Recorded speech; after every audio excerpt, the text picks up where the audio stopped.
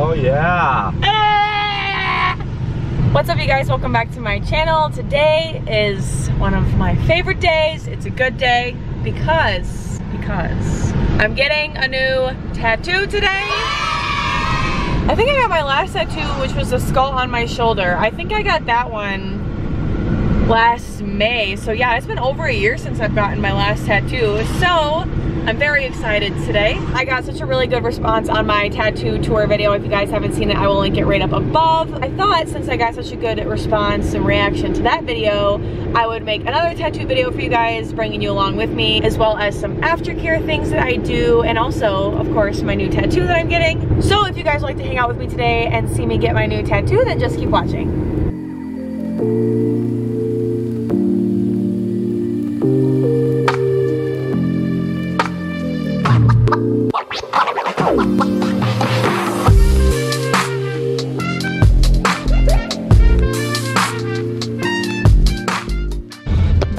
Tattoo it's nice.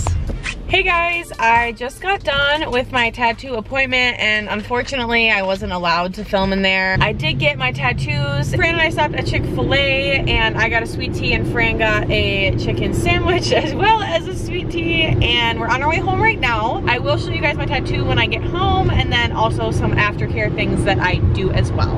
So it's a little bit later now, we just got home and I'm gonna show you guys my tattoos. Here's a close-up look the reason they have those lines and streaks in them is because I do have a clear film over them to protect them and help them heal. Usually the artist that I normally go to would put like a little bit of a cotton like patch on it, then wrap it in saran wrap and I would only keep it on for a couple hours. But this stuff my artist told me to actually keep on for two to three days to help with the healing process as well as keeping it clean. So with all of that being said, traditionally the tattoo care that I normally do, I would have the bandage off after about a couple hours. So since this is the first time with the clear adhesive for me, the healing and the aftercare is gonna be a little bit different. And this is supposed to be a little bit more of a long-term aftercare. So I don't need to do as much work for the aftercare in the first day or so. With that being said, if you didn't get the clear adhesive for a cover up or for helping you heal after your tattoo, if you only got like the saran wrap or a cotton swab or anything like that, the first thing that I recommend doing once you take it off is just taking like a damp paper towel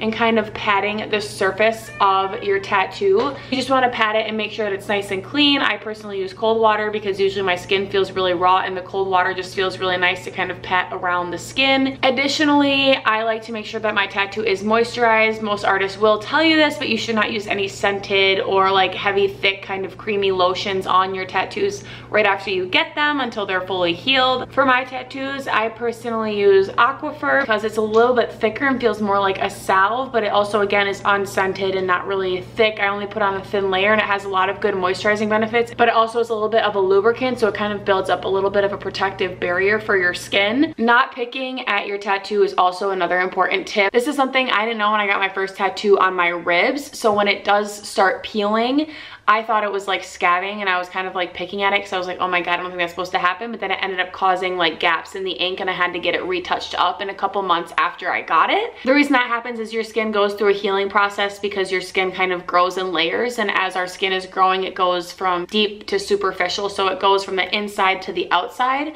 And obviously you're getting tattooed beyond the surface layer of your skin. So your skin is still growing and kind of shedding all those dead skin cells and some of them just happen to be in the layer that was there when you were getting tattooed at the time. So essentially your skin is pushing out dead skin cells and some of them are gonna be like kind of black and little pilly because your skin's pushing out the excess ink as well as the excess dead skin and everything that was there from when you were getting a tattoo. Another tip to give when I normally get my tattoos is when I'm going to sleep, I always like to make sure that I'm either wearing kind of like a crappier long sleeve shirt. If you're a person where you don't like sleeping in long sleeve shirts or anything, you can also lay down just like a nice towel around the area of wherever you're laying just to protect your sheets more so than ever. And again, making sure that your tattoo is like really nice and moisturized when you go to sleep. I'll have to let you guys know how it goes with this clear adhesive because she told me it's not supposed to peel or anything as I sleep or as I shower. So one of the last tips that I have for you really quick is just making sure no matter what, you are keeping your new tattoo clean. Your skin is your first line of defense for your body. If you do end up getting some sort of like bacterial infection, like touch the surface of your tattoo or getting a lot of dirt in there and just stuff that's not supposed to be in that fresh skin, it can really lead to a lot of further issues for your skin in that area down the road just because of the infection and having a new tattoo and it's just gonna be awful because you're gonna have to try healing with that infection as well as maintaining the status and the looks of your tattoo, which normally doesn't happen if you do end up getting a really bad infection, but hopefully you guys know that just keeping your tattoos clean is just standard practice. You wanna keep that skin really nice and clean because overall, beyond your health, it'll also help your tattoo heal a lot better if you're keeping it clean and moisturized not picking at it while it's peeling and making sure that you are just taking the utmost care of it in the first couple of days. If you guys have any more questions about tattoos or want to know anything else, you can obviously ask me down below in the comment section. I'm gonna get some stuff done around the house tonight and then I will catch up with you guys tomorrow and update you on how I slept with the clear adhesive and also show you guys the healing of the tattoo for day two. See you in the morning. Bye.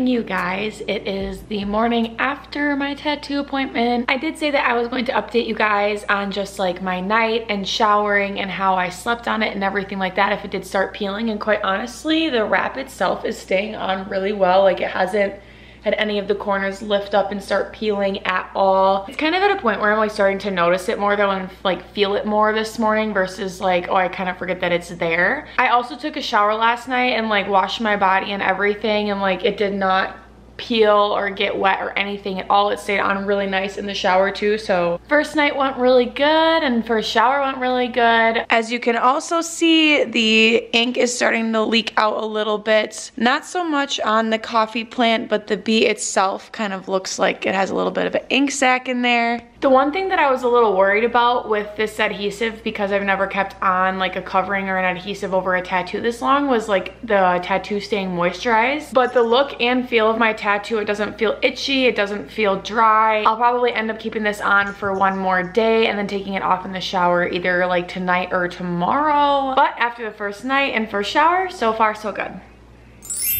just a little bit of a tattoo update. It's still the day after I got my tattoo. Fran and I are just leaving the gym. I still have my cling wrap on and it held up pretty well. I did actually sweat a lot at the gym and it didn't like get loose or start peeling or anything with sweat. So that's really nice. Don't take a bath or go swimming. Yeah, that's important too. Don't like soak your tattoo in water the first probably a couple days to a week that you get it. I wouldn't recommend swimming probably the first week, week yeah, first week or two. I know I mentioned yesterday when you're showering to not like physically like wash and scrub it or anything, just to kind of lightly rinse it off, but I didn't really talk on what Fran just touched on about like don't let water directly run all over it for a, like a prolonged period of time. Obviously you can rinse it off a little bit, but you don't want water soaking into it. Overall, in general, you just don't want it to be soaking in water in the first couple weeks that you get it because it does affect the healing process. Sorry this is on my iPhone, but again, I just wanted to keep you guys informed on all the tattoo healing and update stuff because that is what the video is about. So, as far as tattoos in the gym, I say go for it don't do too much if you are a pretty active person. Try not to sweat profusely the first couple days to week that you get your tattoo. Beyond that as long as you're not constantly rubbing it with the workout that you're doing you should be good to go